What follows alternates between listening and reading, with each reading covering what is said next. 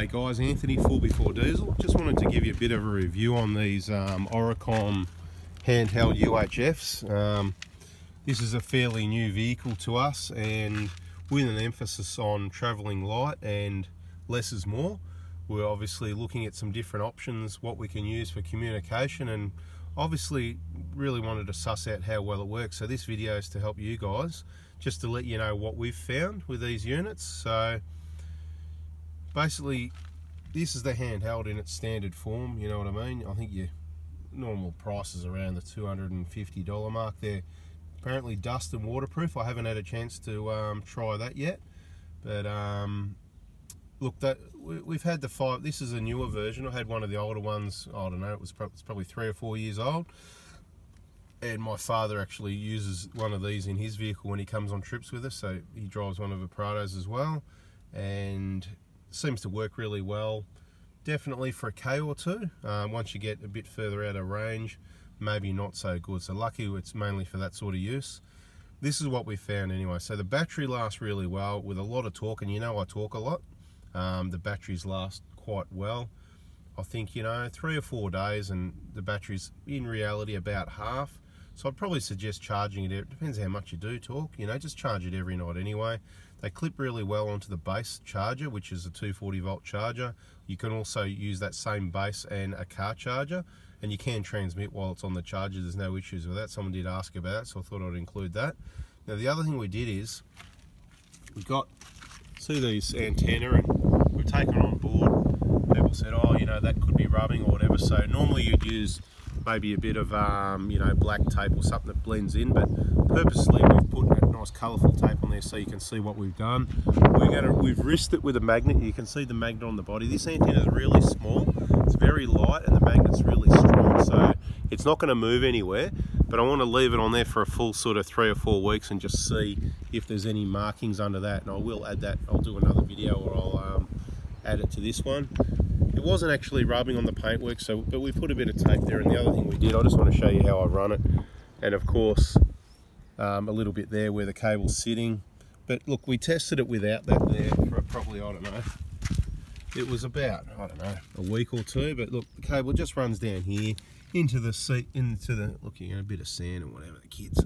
Anyway, um, the, the coax into the seat bin, you know, the, the bag on the back of the bin, in there and back out of it again there and then down the side of the seat there. I think the car needs a clean. Anyway, back in the front, and it just comes around underneath the seat there. Bada boom, and you get this little adapter with these little magnetic base antennas, and you just back, and it just sits there. And I'm, I literally, for those people that can't be bothered picking up the microphone, so this is good for a number of reasons.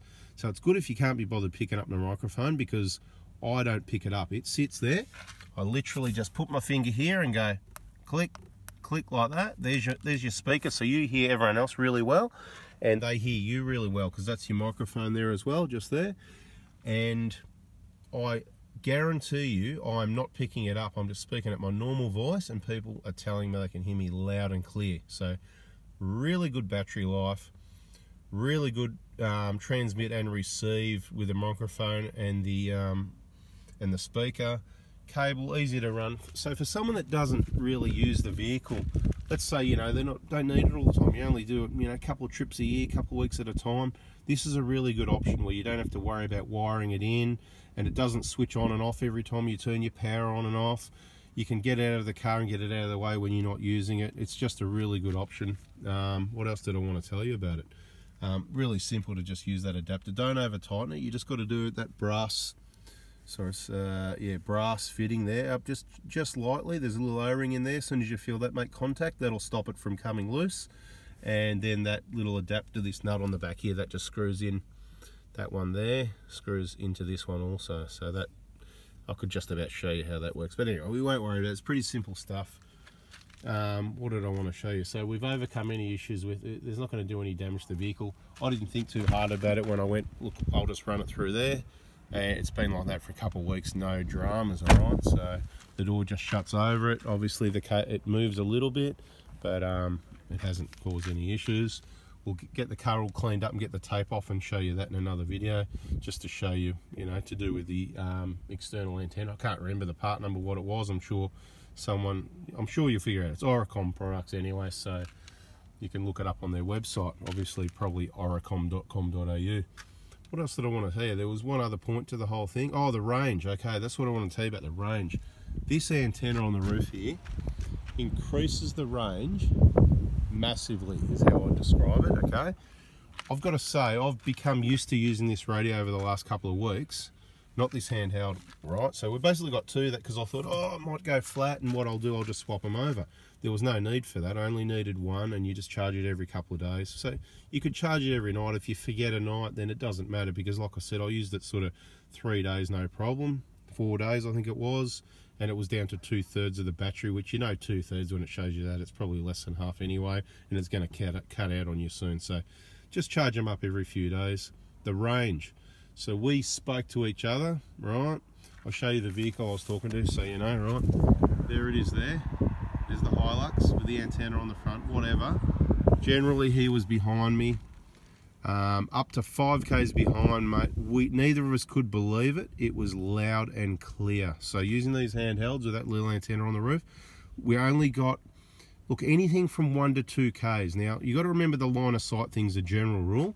So you can use a little half a watt handheld or a two watt, and if you're up on two high points, you can talk 50 kilometers, right? That's the line of sight thing. If you're high enough, remember the, the earth curves and all that sort of thing, you know?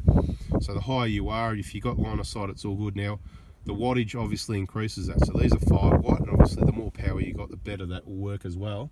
But with a five watt radio, these these things you, you wouldn't know that it was a handheld and a magnetic base on the roof you know and they're meant to be half a dB that, that antenna on the roof so look whatever.